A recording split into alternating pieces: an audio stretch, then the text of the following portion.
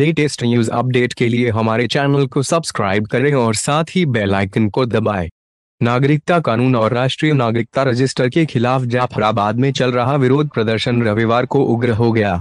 मौजपुर चौराहे के पास कुछ लोगों द्वारा पत्थरबाजी करने की घटना सामने आई है। हालाँकि पुलिस ने प्रदर्शनकारियों को तितर बितर करने के लिए आँसू गैस के गोले दागे हैं। नेशनल डेस्क नागरिकता कानून और राष्ट्रीय नागरिकता रजिस्टर के खिलाफ जाफराबाद में चल रहा विरोध प्रदर्शन रविवार को उग्र हो गया। मौजपुर चौराहे के पास कुछ लोगों द्वारा पत्थरबाजी करने की घटना सामने आई है। हालाँकि पुलिस ने प्रदर्शनकारियों को तितर बितर करने के लिए आँसू गैस के गोले दागे हैं। जानकारी के अनुसार जाफराबाद में के खिलाफ हो रहे प्रदर्शन के विरोध में भाजपा नेता कपिल मिश्रा अपने समर्थकों के साथ सड़क पर उतर आए।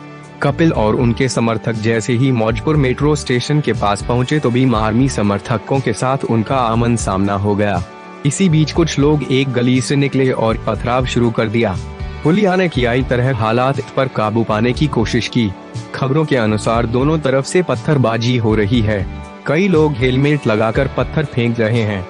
वहीं हालात बिगड़ते देख जफराबाद और आसपास के इलाके में अतिरिक्त सुरक्षा बल बुलाए गए हैं। ईस्ट डिस्ट्रिक्ट के डीसीपी समेत अन्य इलाकों के डीसीपी भी बुलाए गए हैं अर्ध सैनिक बल्कि कुछ और कंपनियाँ बुलाई गई हैं। फ़िलहाल हालात पूरी तरह काबू में हैं।